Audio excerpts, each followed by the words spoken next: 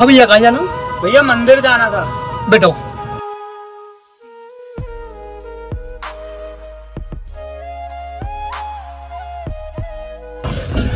चलो भैया।